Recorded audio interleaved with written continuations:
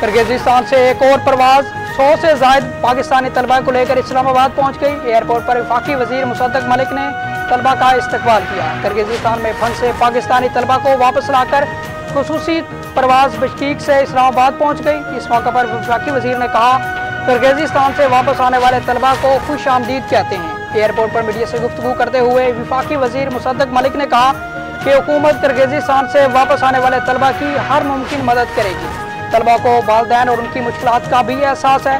انہوں نے کہا کہ کرگزستان میں پاکستانی سفیر حکومت سے رابطے میں ہے۔ ایرانی صدر ابراہیم رئیسی کو لے کر جانے والا ہیلی کاپٹر نے ہنگامی لینڈنگ کی ہے۔ ایرانی حکام کا کہنا ہے کہ جائے وقوع سے آنے والی خبریں تشویشناک ہیں۔ ایرانی وزیر داخلہ نے صدر سے عدم رابطے کی تصدیق کر دی۔ غیر ملکی خبر رساں ایجنسی کا کہنا ہے ہیلی کاپٹر حادثے کے بعد ایرانی صدر وزیر خارجہ کی جان خطرے میں ہے۔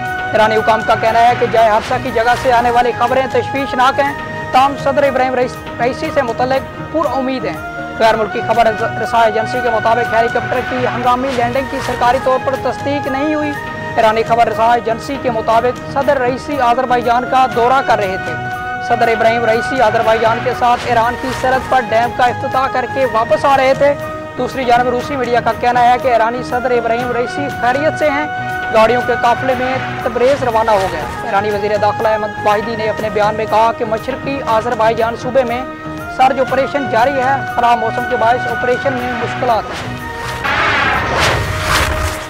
کرگزستان کے وزیر خارجہ نے نائب وزیر اعظم اور وزیر خارجہ اسحاق ڈار سے ٹیلی فونک رابطہ کیا کرگز وزیر خارجہ نے اٹھارہ مئی کو بشکیک میں غیر ملکی طلبہ کے ساتھ پیش آنے والے واقعات پر بریفنگ دی انہوں نے کہا کہ اس وقت امن عامہ کو مکمل طور پر یقینی بنایا گیا ہے صورتحال کرگز حکام کے مکمل کنٹرول میں ہے۔ کرگز وزیر خارجہ نے مزید کہا کہ غیر ملکی میڈیا اور سوشل نیٹ ورک جعلی اور غلط معلومات پھیلا رہے ہیں۔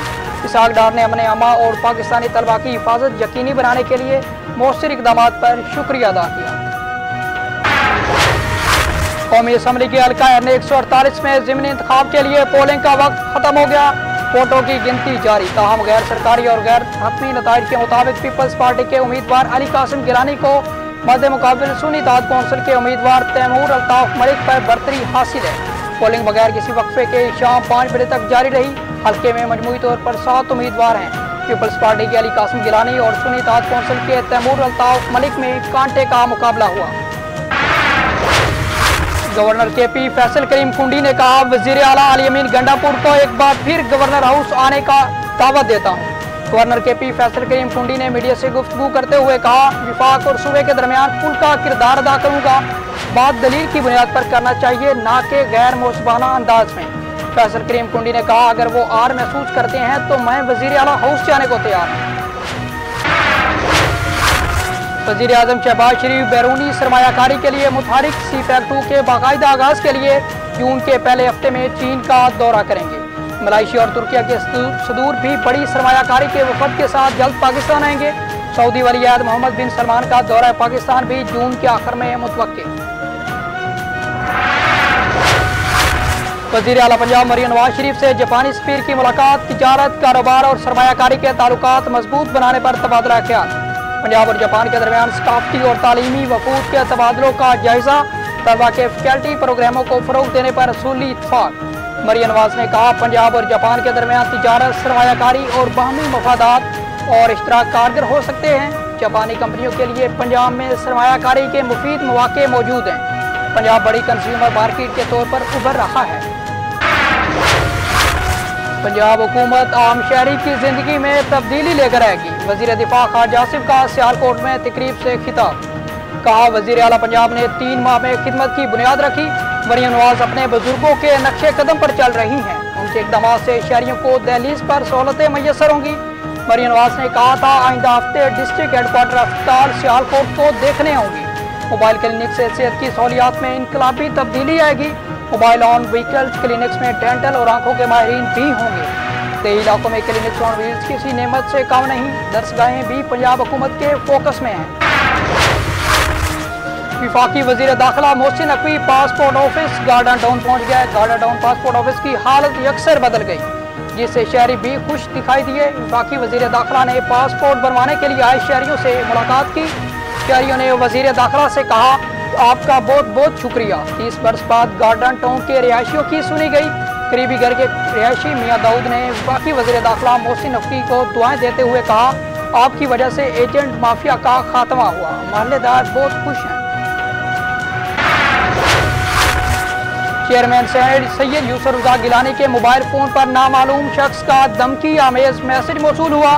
ذرائع کے مطابق میسج میں چیئرمین سینٹ کے بیٹے سید علی موسیٰ گیلانی کے حوالے سے دمکی دی گئی۔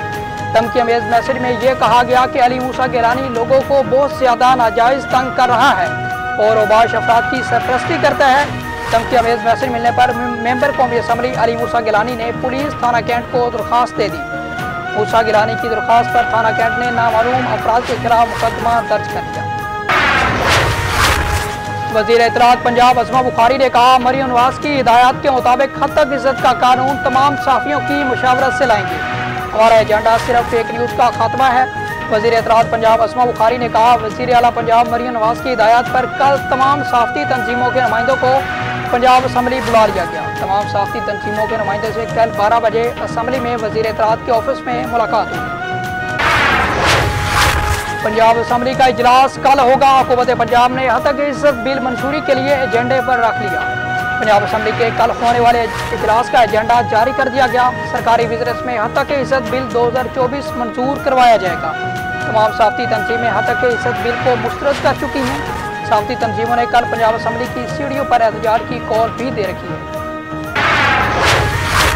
آئندہ بجٹ میں سرکاری ملازمین کی تنخواہوں میں دس سے پندرہ فیصد اضافہ متوقع۔ حتمی فیصلہ حکومت وزارت خزانہ کی سفارشات کا جائزہ لینے کے بعد کریں گی۔ اگر سالانہ بجٹ میں یہ اضافہ منظور ہوا تو جولائی دو ہزار چوبیس سے نافذ العمل ہوگا۔ ادھر آئی ایم ایف کی جانب سے وفاقی حکومت سے سرکاری ملازمین کی پینشن اور وراث سے متعلق قوانین میں ترمیم کرنے کا مطالبہ۔ خیبر پختونخوا میں پنجاب کے کاشتکاروں سے گندم کی خریداری جاری۔ صوبائی محکمہ خوراک کے مطابق پنجاب کے کاشتکاروں سے سات ہزار میٹرک ٹن سے زیادہ گندم خریدی گئی۔ کسانوں سے انتالیس سو روپے فی من گندم خریدی جا رہی ہے۔ خریداری کا سلسلہ تیس جون تک جاری رہے گا۔ محکمہ خوراک نے کہا، مقامی کاشتکاروں سے چودہ ہزار میٹرک ٹن گندم خریدی گئی۔ صبح بار میں گندم کی خریداری کے لیے بائیس براکت ہیں۔